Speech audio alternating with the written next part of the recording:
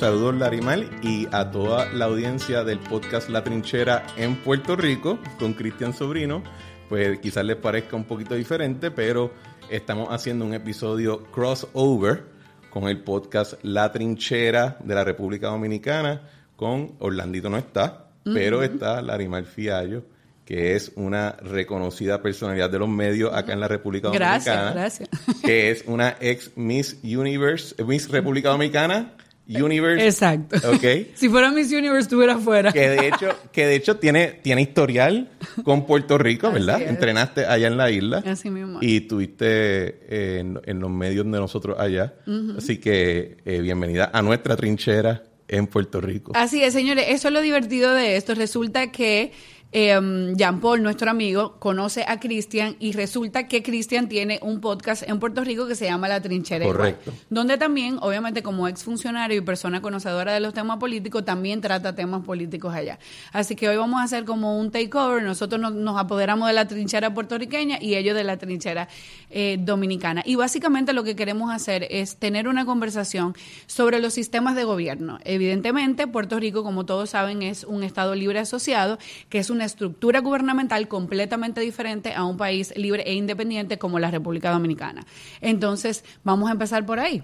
¿Cómo funciona el sistema de gobierno puertorriqueño? ¿Qué tanta independencia o autonomía tiene dentro del marco de la asociación que tiene con los Estados Unidos? Mira, Larimar, el, el gobierno de Puerto Rico, uno le dice, le puede decir Estado Libre Asociado, pero para muchos puertorriqueños se le dice colonia, porque Puerto Rico tiene una situación territorial con el gobierno federal de los Estados Unidos. En 1898, los americanos, eh, a través de su Navy, eh, conquistaron a Puerto Rico, de manera que conquistaron Cuba y conquistaron las Filipinas. Entonces, las Filipinas y Cuba eventualmente van a un proceso de independencia. Puerto Rico todavía se queda eh, como un territorio. Entonces, en los 50 se da un proceso donde la isla aprueba su propia constitución y en esos momentos el gobierno federal no tenía mucha relación con los estados Así que Puerto Rico tenía como mucha autonomía, igual que cualquier otro estado.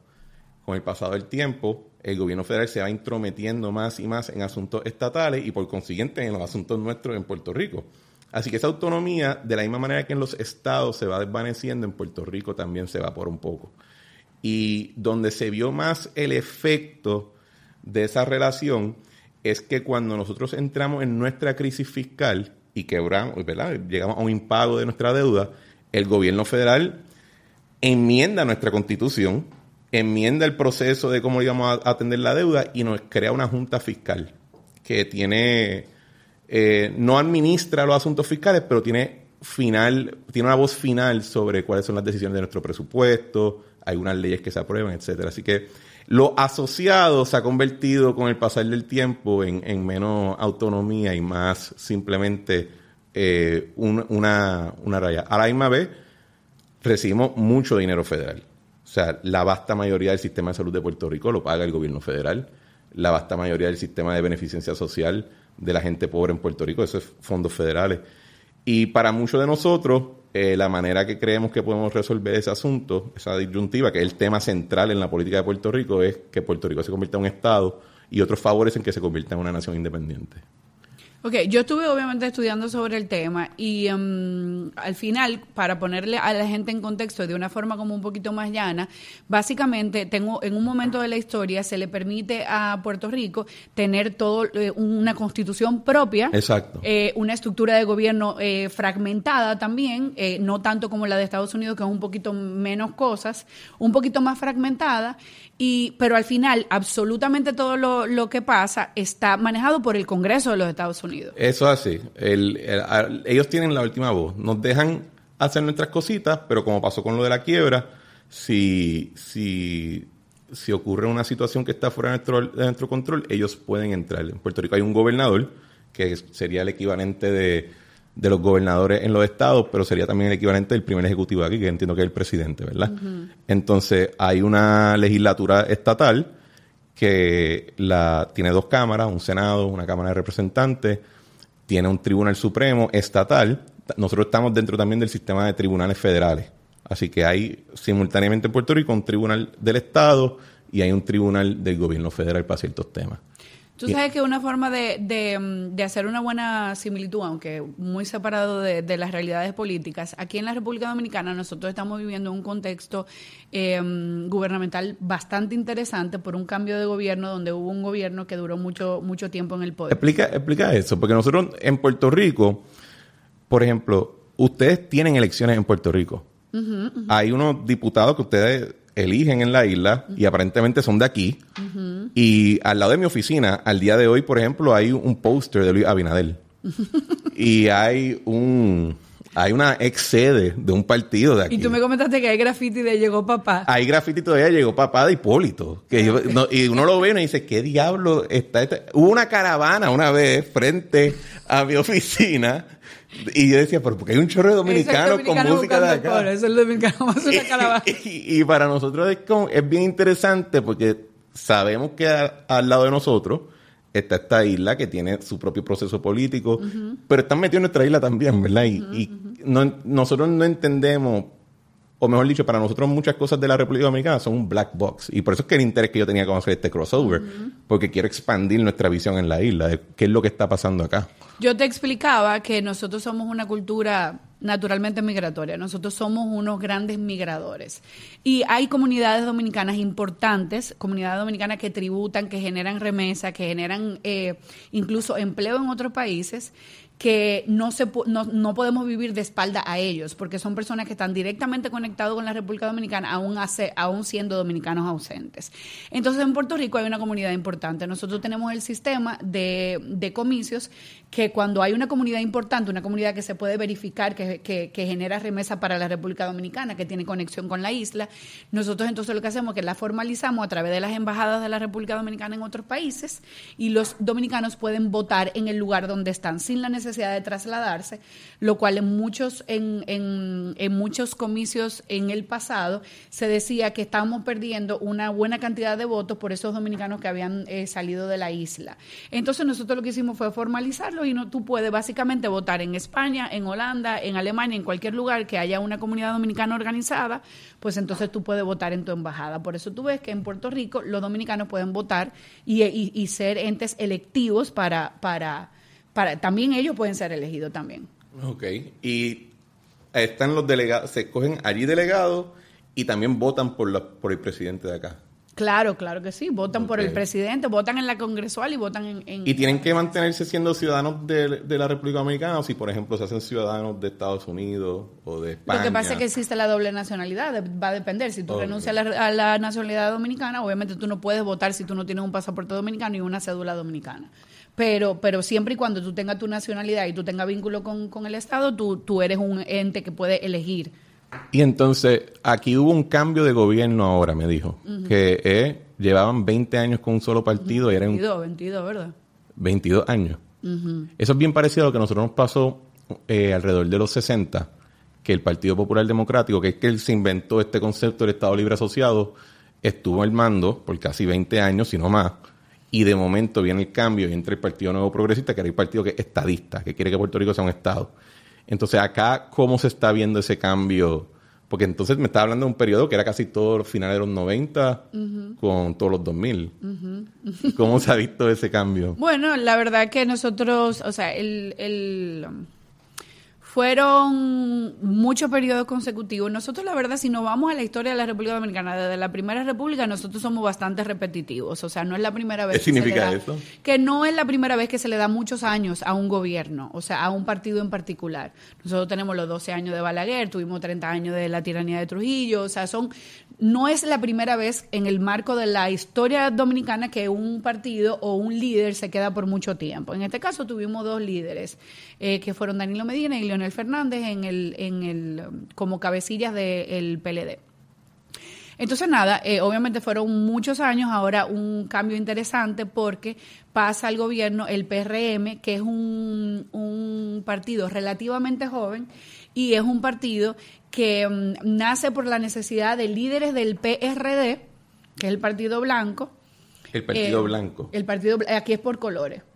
El PLD es morado, el, P- el PRD blanco, entonces ahora el PRM blanco con azul con un poquito, pero básicamente nace el PRM por la necesidad que tenían muchos líderes del PRD de desvincularse del PRD porque había tenido algún tipo de, de conflicto. Simplemente yo lo veo como un partido que se... Pero conflicto de idea o de No, asuntos legales. A nivel, a nivel, a nivel político. Eh, vamos a decir que, que conflicto entre cabezas, entre Exacto. cabezas importantes del partido, que cada quien quería jalar para su lado. Bueno, eso se percibió como un partido que se iba desmoronando, la gente comenzó a perder la credibilidad y había un grupo de personas que creían que, que los conceptos y la ideología del PRD eran salvables siempre y cuando se llevaran a un nuevo espacio donde se le diera la oportunidad a jóvenes y a personas, donde hubiese un relevo real del poder y no tanto pues lo que eran las cabecillas de muchos, muchos años o, o los líderes eternos que tenía el PRD. Y Y el- así nace el PRM. Y el PRD entonces ya no existe. El PRD, claro, Ah, todavía existe. claro, él existe ahí más o menos, eh, a según, Así que, así que tenemos el PLD, que es partido. de la Liberación Dominicana, Tenemos PRD, que es Partido Revolucionario Dominicano, PRM. ah, Partido Revolucionario Moderno. Y entonces tenemos en Puerto Rico. Aquí yo vi ahora está la, la, la FUPU, fuerza del pueblo. La FUPU, la Fuerza del Pueblo y Alianza País también. y Alianza País, otro Me partido. falta otro. Son Ah, no, 27 claro, pero partidos. Estamos hablando de los fuertes, claro, los partidos Pero ven acá que ustedes no se pueden juntar. Sí, no. no.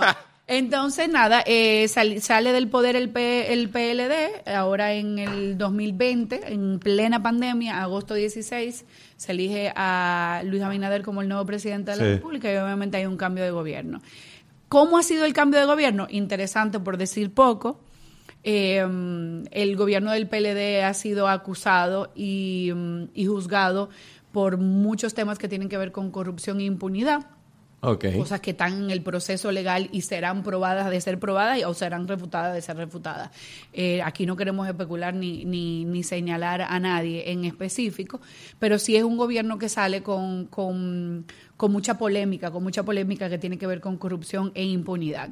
Entonces eso, eso es lo que enfrenta el PRM cuando, cuando entra al, al poder. Precisamente, ye- vamos a decir, saciar esa sed de justicia que tenía el pueblo eh, que también hay que decir que el cambio de gobierno se da eh, posterior a un marco de protestas importantes de, de organizaciones de la sociedad civil que por primera vez sin ningún tipo de precedente en la República Dominicana el dominicano se organizó claro aquí existe la marcha verde que siempre ha sido ¿Qué, muy qué es la mancha verde? La marcha verde en contra del- de la corrupción y la impunidad es algo que venía pasando incluso en el gobierno del Y PLD. todos los años eso ocurre. No todos los años, no todos los años, es todos los años, no, no todos los años, pero sí se hizo paulatinamente muchas protestas, la cual la gente asistió de forma masiva. Pero lo cierto es que nosotros, yo, yo siempre digo que estábamos en pañales en temas de protesta. En Puerto Rico vimos una protesta gigante en la que tú... De alguna manera estuve involucrado, sí. estuviste involucrado eh, porque era el gobierno donde tú trabajabas y, mm, y la verdad que ese tipo de, de- de organización, ese tipo de unión a nivel eh, mm, de la sociedad civil organizada no era algo muy común aquí. Eh, las protestas siempre fueron de los mayores, pero nosotros hemos vivido un contexto eh, político donde eh, definitivamente la juventud se empoderó en los últimos años y es un, un ente participativo activo de todo lo que tiene que ver con el reclamo. Y una pregunta. ¿esas, esas protestas son parte de, de movimientos estudiantiles o De movimientos todo. sindicales o están afiliados a ciertos es- partidos? aquí está la sociedad civil organizada. La sociedad civil organizada se llama así mismo, también está eh, participación ciudadana. Hay varios...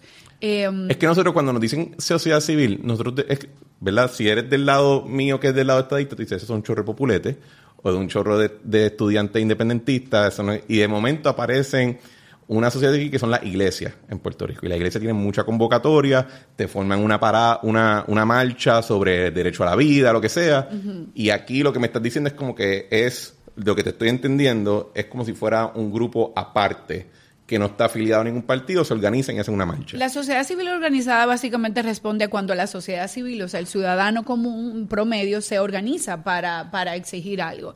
Pero la sociedad civil organizada dentro de la República Dominicana sí tiene organizaciones que son importantes que ayudan a esa organización, que convocan, que, que, mm, que organizan, que producen lo que sea que la sociedad civil organizada va a realizar, así sea una protesta pro vida, una protesta en contra de la corrupción, eh, diferentes tipos de protestas. Em, pero lo que te digo es que se ha vivido una realidad interesante porque eh, lo que, los que antes no participaban, ni se involucraban, ni exigían, ni decían esta boca es mía, han sido entes participativos y activos en todo lo que tiene que ver con las protestas que se realizaron en contra del gobierno pasado. Entonces, nada, el PRM entró eh, al poder en plena pandemia, como te comentaba fuera del aire. El país cierra en marzo 19 y los comicios fueron en agosto. Eso significa que el PLD estuvo en el poder los primeros meses de la pandemia en los cuales también, obviamente, tratando de amortiguar y entender lo que era una pandemia, porque obviamente nadie, nadie sabía. Ustedes cerraron también, hicieron mucho lockdown. Claro, nosotros. hicimos lockdown. El 19 de marzo del 2020 se cerró el país por un tiempo y luego paulatinamente nosotros usamos el sistema escalado de reintegración, que nos fuimos reintegrando por, por edades, por horarios y por tiempo. O sea que se hizo más o menos así. Y nada, como te decía, hubo compromisos que hizo el gobierno anterior dentro del marco de los primeros cinco o seis meses de la pandemia, que luego entonces el gobierno del PRM ha tenido que asumir y en cierto sentido se les ha culpado por compromisos que fueron realizados en el gobierno pasado. En términos de gastos y de compra. me estaba mencionando de la vacuna que usted está... ¿Cuánto es la, ¿Sabe cuánto es la, vacunación acá? ¿O es, bastante alta o es...? nosotros estamos en el 70 y pico ya. Nosotros estamos en el 70 y pico y por eso se permitió abrir el país, los comercio y todo. Para que tenga una idea de lo que estaba hablando de del gasto salud, de salud en Puerto Rico que es federal, en Puerto Rico las vacunas las compró el gobierno federal. O sea, el gobierno de Puerto Rico no tiene que gastar un centavo en vacunación. Entonces también nosotros recibimos muchos fondos de asistencia por los lockdowns, ¿verdad? Nosotros decíamos el PUA, que era para las personas que quedaron, pues no puedes no puede salir de la casa, así que no puedes trabajar. Eh, recibía un cheque de desempleo. Lo incentivo. Exacto. Eh, las compañías recibieron cheques para atender, para seguir pagando nómina, todo eso, todo eso fue dinero federal. El gobierno de Puerto Rico tuvo un programa local, pero fue bien limitado porque todo eso el gobierno de los Estados Unidos no los cubría a nosotros. En el caso de nosotros, nosotros el gobierno tuvo que obviamente solventar todo eso eh, y sí, sí, también se crearon programas de incentivos que fueron... Eh, como quédate en tu casa, quédate en casa, también estaba para ti, por ti, eh, fueron varios programas de incentivos, jamás a los niveles de, Puerto Rico, jamás a los niveles de, Estados Unidos, pero sí definitivamente fueron unos programas de incentivos que permitieron que las personas que no están regularizadas, que no están ese, ese trabajador em, informal, pues tuviera algún tipo de ingreso si uno de los miembros de su, de su casa estaba, tributaba, o sea, lo que nosotros decimos que cotizaba con, con la seguridad. Y aquí también entró en algún momento como que en, Estados Unidos dicen los anti-vaxxers, que son personas que piensan que dentro de la vacuna hay algún tipo de asunto. ¿Eso entró aquí en la República Dominicana ustedes se quedaron...? Yo siento que hay uno aquí, hay uno aquí. Hay uno aquí. no, eh, claro que sí, por Dios, hay de todo en la vida del Señor, dice el dicho. Eh, sí, aquí se han levantado protestas en contra de la vacuna, sobre todo contra la, la em, una nueva regla, una nueva regla de vacunación obligatoria. El, nosotros se supone que ya a finales de febrero tenemos una como mandato que todos los dominicanos tienen que tener una tercera dosis, o sea, un refuerzo de la vacuna. La mayoría, el 70% corresponde a las personas que tienen dos dosis o una dosis de, de, alguna vacuna que sea de una dosis o la dos dosis de la Sinovac, que fue la vacuna china, como le dicen, que fue la primera que adquirimos aquí. A finales de febrero se supone que todos los dominicanos tienen que tener el refuerzo. Y contra esa medida hay muchas eh, protestas. Yo no siento que han sido tan fuertes, eh, porque la verdad en Canadá se le está se está haciendo una revuelta allí con los con los camioneros sí. por estos temas de las restricciones no poder salir lo que pasa es que el lockdown de, de Canadá duró cuando ya nosotros aquí estábamos completamente abiertos, todavía en octubre, noviembre de, del 2020, en, el, en Canadá solamente podía entrar un canadiense o una persona, por ejemplo, la mamá de una persona que vivía en Canadá y era con un permiso y una cosa, o sea, ellos tuvieron un lockdown fuerte y yo entiendo perfectamente que ante cualquier medida regulatoria que tenga que ver con el COVID, ellos ya estén en un sentido... Tan alto, eh, ya traumatizado, porque la verdad que Sí. el, el- el- los canadienses sí como que fueron bastante herméticos eh, con respecto a las movilizaciones dentro y fuera del, del país. Pero, pero nada, em, ahora el, los temas sociales que, ¿cuáles son los temas sociales más importantes que aquejan a Puerto Rico ahora mismo? Ahora mismo yo te diría que, bueno, siempre en términos políticos, el tema del estatus, o sea, nuestra relación con los Estados Unidos es el tema eh, fundamental en la isla. Es el tema que siempre, no importa que tú estás debatiendo de alguna manera u otro, puedes estar hablando sobre qué color es tu color favorito y alguien va a salir por la esquina y va a decir, sí, pero la estadidad, chicos, sabes, es, es una cuestión que es, eh, es, es- marca nuestro origen del pensamiento entero político en Puerto Rico. Temas sociales, eh, hay mucha discusión sobre las medidas ahora mismo de respuesta al COVID.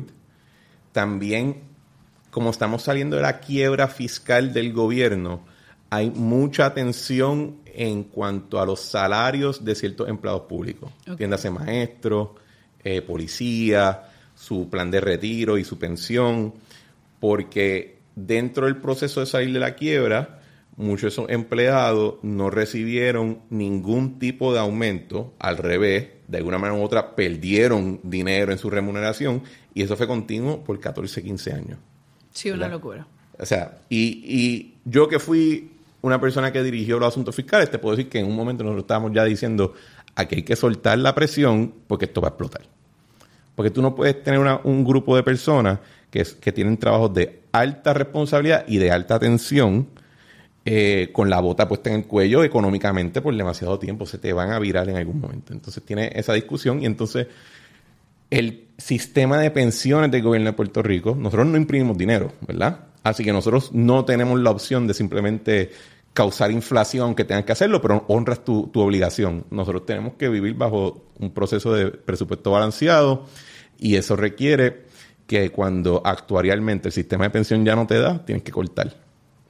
Y eso ha causado mucha presión en Puerto Rico. Los otros temas, hay otros temas que yo creo que son más ahora mismo, son secundarios, pero pueden convertirse primarios en cualquier momento, que son temas más sociales. En Puerto Rico se organizó un grupo que se llama Proyecto Dignidad, que es eh, una coalición entre libertarios, eh, personas de base de fe y grupos más conservadores, aunque no están religiosamente afiliados, porque quieren impulsar una agenda más socialmente conservadora y legalmente más libertaria en cuanto a los derechos económicos y comerciales de la ciudadanía.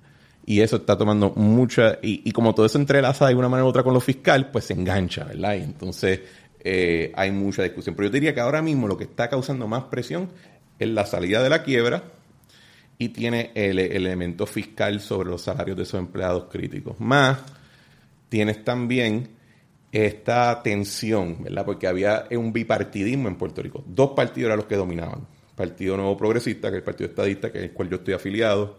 Tienes el Partido Popular Democrático, que es el que hace el ELA, el Estado Libre Asociado. Ellos son lo- los originadores de este concepto de autonomía eh, bajo la bandera americana.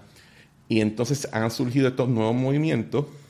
Movimiento Victoria Ciudadana, que es, yo diría, un, un partido que se define como que lo que sea que sea el Partido Popular, nosotros nos vamos a la izquierda de eso.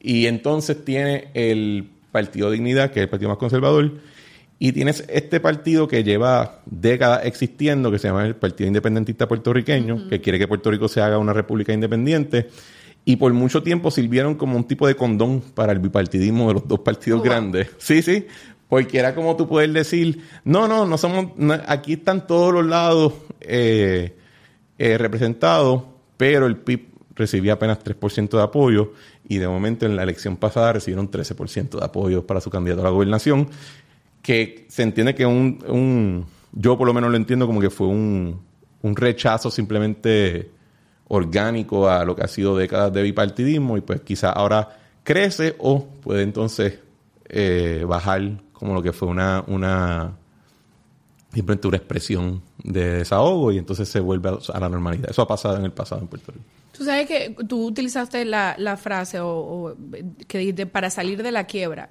Tú sabes que nosotros todos los, todos los países tenemos como un, un concepto de los de otros países que, mm, que en cierto sentido lo describe. Así como podemos decir que los suizos son súper puntuales o lo que sea, ¿entiendes? en el tema de la salida de la quiebra de Puerto Rico, ¿no te parece que la salida de la quiebra se ha tomado como que mucho tiempo? ¿Tú crees que eso responde a algún tipo de actitud del puertorriqueño, algún tipo de forma de, manejo del Estado? Porque, por ejemplo, cosas que se, que, se, que, se, que se pueden decir, yo he escuchado a gente decir que el puertorriqueño se acostumbró tanto a ser subsidiado por los Estados Unidos, como en todo lo que tú mencionaste ahorita, que simplemente no ha creado una estructura de trabajo propio que pueda sostener una independencia en el futuro. Entonces, tan cómodo y no están haciendo suficiente para, para trabajar en esa independencia. ¿Tú crees que eso es verdad? ¿Qué, tú percibes de eso? Yo creo que es parcialmente cierto en el sentido que, por ejemplo, Florida y California y Texas, que son los tres estados más potentes económicamente en la Unión Americana, no se podrían independizar y mantener su estilo de vida corriente. Porque California no, no, tiene un ejército, lo tiene el gobierno federal. Eh, Texas no tiene que correr una aduana, solo corre el gobierno federal. Y aunque probablemente serían países económicos fuertes, su calidad de vida probablemente bajaría si se independizan de los Estados Unidos. Sin hablar de todos los otros estados que requieren apoyo federal para poder continuar operando su estilo de vida. Así que Puerto Rico no tiene la estructura para ser independiente similar a que ningún otro estado puede, tampoco tiene la estructura para hacerse independiente, aunque Puerto Rico en un grado más, más eh, eh, es más agudo porque es un lugar más pobre, ¿verdad? Así que tiene ese elemento. El asunto de Puerto Rico de salir de la quiebra, eh, contrario a lo que sería, por ejemplo, si ustedes se van a la quiebra, por ejemplo, como nosotros. Dios no lo quiera. Dios no lo quiera el sistema de ustedes va a ser totalmente diferente, porque ustedes va a tener el Fondo Monetario Internacional involucrado, puede entrar el Banco Mundial, tienen todas estas organizaciones que entran y de alguna manera intervienen, pero ustedes no se van a la corte como nosotros. Nosotros literalmente lo que hicimos fue nos metimos a una corte federal, a irnos a las galletas con los acreedores y de momento entró esta entidad de nueva creación que se llama la Junta de Supervisión Fiscal, que no era, respondía a nosotros, que fue nombrada por el presidente de los Estados Unidos y también ellos se tuvieron que meter en el debate. Yo creo que tardamos más de lo que se suponía. Todo el mundo que habló de la quiebra de Puerto Rico pensaba que iba a ser un proceso de dos a tres años. No. Termina siendo media década, ¿verdad? O más, porque si más. más tiempo. Y eso en parte se debe, en mi humilde opinión, a que algunas de las personas que estaban corriendo el proceso, tanto del lado de la Junta como algunos del lado de nosotros del gobierno, no entendían bien las dinámicas económicas que estaban ocurriendo y segundo, que mientras empezamos el proceso judicial, de momento nos dan dos huracanes categoría 5, que fueron Irma y María. Entonces, después de eso, viene eh, lo que se le conoce como el verano del 19, que fue todo el asunto de las revueltas. Y entonces, para colmo, súmale un terremoto en el sur de la isla, pandemia, eh, cambio de gobierno federal. claro, cada vez que había un revolú, explotaba otra cosa y pues eso también aportó a que se tardara. Eh, la realidad es que sí estamos saliendo de la quiebra. Económicamente el, gobierno está recaudando más que nunca y ya se llegó a un acuerdo en el tribunal. Lo que quizás puede dificultar la cosa es, eh, la, pregunta que tenemos que contestarnos en Puerto Rico es si nuestra cultura política que nos llevó a gran parte a tomar decisiones y asumir posturas políticas que nos llevaron a la quiebra, si esa cultura aprendió la lección. Y yo creo que hay argumentos fuertes en ambos lados de la contestación, sí y no. Y eso es lo que, y yo creo que todos nosotros que de alguna manera nos estamos involucrados, pues nos tocan unas décadas de vigilancia, de recordarle a todo el mundo, mira, la última vez que tratamos de hacer esto, la cagamos. Y tenemos que entonces eh, eh, dar algún tipo de voz de experiencia, asumiendo también que muchos de nosotros que participamos en el proceso estamos cicatrizados y no somos los mejores modelos o portavoces de las causas que, que estamos discutiendo. Entonces, para hacer un, en algún momento eh, tendría que haber alguna similitud, eh, similitud entre, entre los dos países. Y hablando de autonomía e independencia, nosotros ahora en este nuevo marco de gobierno tenemos un un fenómeno que ha sido muy importante para nosotros, sobre todo por todo lo que te mencioné del tema de la corrupción e impunidad de la que fue acusado el, gobierno anterior, y es que nosotros por primera vez tenemos un, Ministerio Público independiente, independiente. ¿Qué significa eso? El Ministerio Público es el ente acusador y, y, investigador de todo lo que tiene que ver con las, los procesos estatales. O sea. Como un fiscal general. Más o menos, más o menos, pero también tiene sobrevé todo lo demás. O sea, el Ministerio Público es, el cómo el Estado eh, le persigue e investiga a cualquier persona que impacta al Estado o a un ciudadano. Entonces, eh, nosotros por primera vez tenemos un ministerio independiente, yo pongo independiente porque ahora vamos a hablar de qué significa independiente y autónomo, eh, que fue una de las promesas del, del presidente Luis Abinader de que él obviamente no, no iba a meterse, porque era de lo que se le acusaba al, al, gobierno anterior, en ningún tipo de proceso donde se investigara a un funcionario público que había o malversado fondos del Estado o eh, incurrido en cualquier acto de corrupción. Él dice, yo estoy creando este Ministerio Público Independiente para que se encargue, yo no muevo, yo no muevo ningún tipo de, de, de hilo y así entonces como darle esa tranquilidad de, de, la sed de justicia que tanto tenía la ciudadanía y que genera el cambio de gobierno, porque fue la única forma por la cual eh, ese gobierno no repitió, porque pudo haber repetido.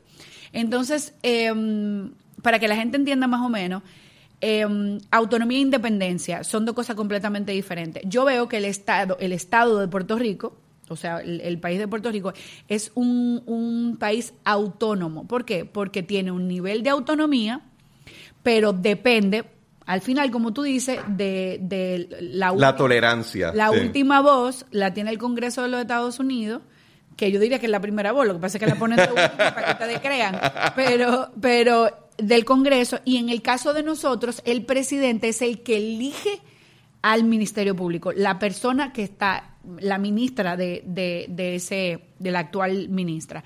Entonces, por eso, si no vamos a la descripción, no puede ser independiente porque independiente, independiente habla de completa independencia económica, de manejo, de proceso, de persecución y de todo. Entonces nosotros tenemos un ministerio que, si bien es cierto, es mucho más eh, autónomo. autónomo que en toda la historia de la República Dominicana, no, no podrá ser independiente hasta que el presidente no sea quien elige quien lo dirige. En el caso de Puerto Rico, hasta que ustedes no tengan la libertad de que sus, su, sus, sus procesos bicamerales, que son el Congreso y sus legisladores, tengan realmente decisión sobre la cosa que pasan en Puerto Rico, ustedes no van a poder eh, tener la independencia que muchos quisieran. En cuanto al tema de la independencia, de la independencia, ¿cuál es tu posición al respecto? Yo estoy viendo aquí las métricas de lo que pasó en los en todas las elecciones, las últimas uh -huh. elecciones de Puerto Rico.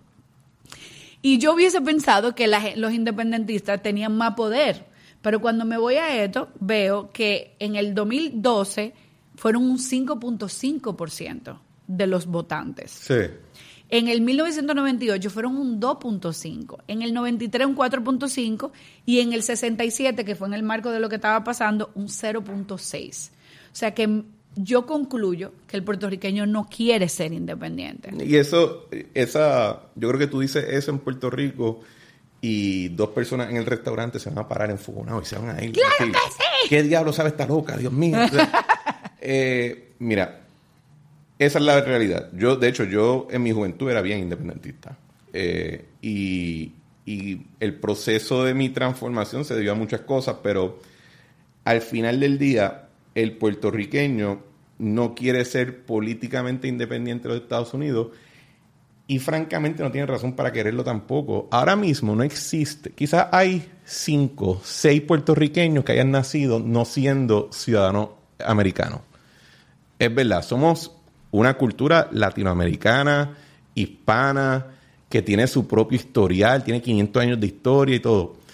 Pero para los puertorriqueños, hoy que están vivos, hoy que, que, están transitando por encima del mundo, lo que conocen políticamente y jurídicamente y económicamente es una afiliación con los Estados Unidos.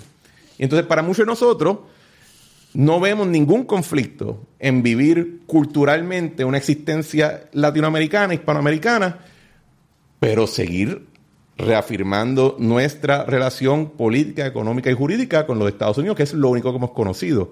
Y lo que encontramos injusto entonces es que si vamos a vivir esa relación política, económica y jurídica con los Estados Unidos, que no sea de la misma manera que todos los otros ciudadanos americanos, que lo viven dentro de una estructura de Estado, uh -huh. que te da voz, voto y poder ya a los, niveles, a los órganos políticos más grandes de la nación, que es la mesa donde la, pues, se imprime el dinero, se reparte y se controlan los misiles nucleares, ¿verdad?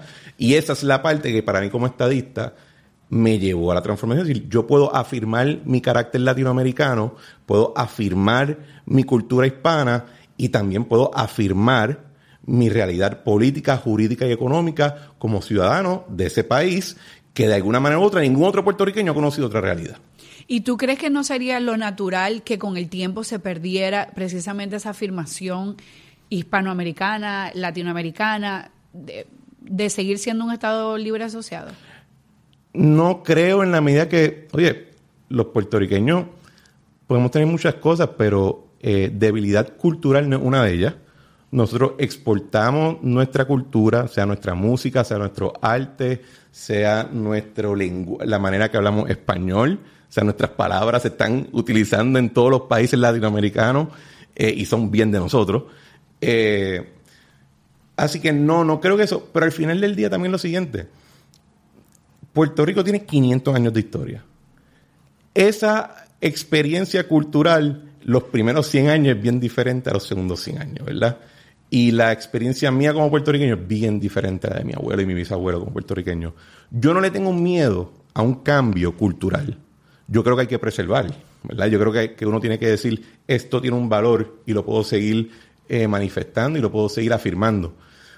Pero no voy, no estoy dispuesto a subyugarme política y jurídicamente ahora por miedo a lo que quizás pueda pasar en 100 años. Porque yo no voy a estar. Y ni mis hijos no van a, quizás mis hijos no estén. ¿verdad? Así, que, así que yo prefiero apostar a igualdad de derechos y a mi capacidad de mantener mi cultura viva, que no después de 100 años de penetración americana no se ha ido, sino que se ha enriquecido aún más. Eh, esa yo creo que es la visión de casi todos los puertorriqueños, si no decir la mayoría. Y ese y yo creo que esa parte que tú dijiste es lo importante. Si son 500 años de historia y ustedes tienen cerca de 100 años siendo un Estado libre asociado, básicamente o sea, e, es un, es un marco de tiempo demasiado importante. Y como tú bien decías, cuando un, un Estado nace, los primeros 100 años son de prueba, son como el primer año del niño. O sea, entonces ya tú tienes, vamos, quitamos ese primero, ya tenemos cuatro. Y, en, y de esos 400 hay 100 que ustedes han sido libres asociados, efectivamente pasa lo que tú dices. No, no, no conocen otra realidad.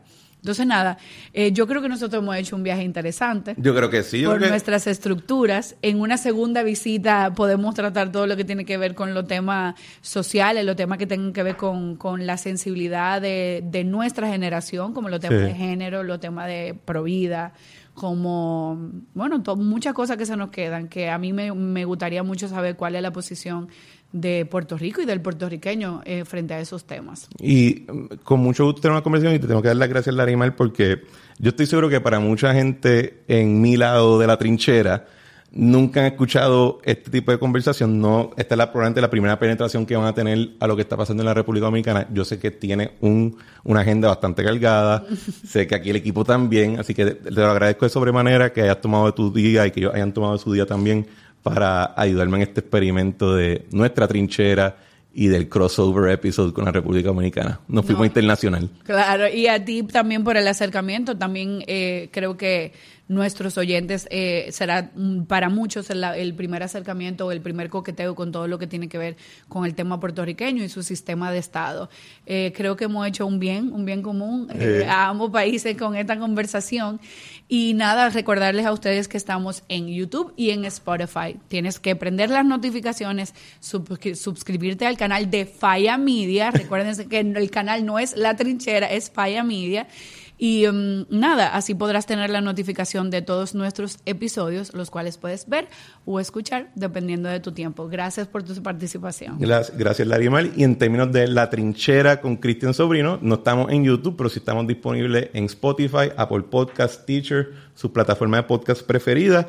Y le pedimos que se suscriban tanto a nosotros como ciertamente a La Trinchera, como Orlandito y Larimal, y a Falla Media. Muchas gracias. Nos vemos en la próxima.